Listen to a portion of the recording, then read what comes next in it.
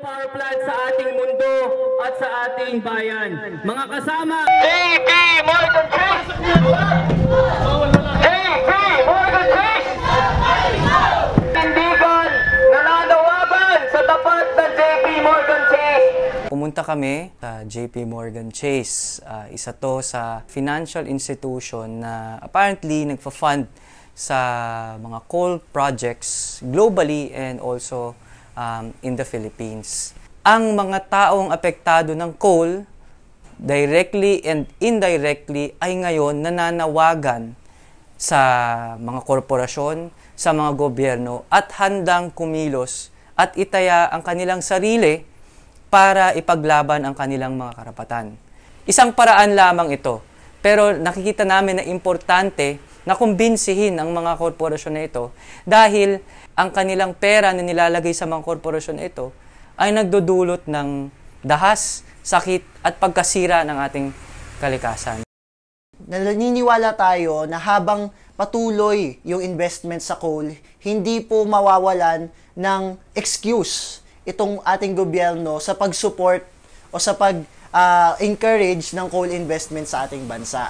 Ang coal ay hindi na dapat pinupursue sa mga panahon na ito dahil ang kanyang epekto sa ating kalikasan, sa ating klima at sa kabuhayan ng mga mamamayan ang coal ay nagdudulot pa ng mas mahal na kuryente. Ito lamang pong mga nakaraang buwan, lumabas pong isang pag-aaral na sa 2021, magiging kapatay na po ng coal ang iba pang mga renewable energy sources gaya ng solar at wind.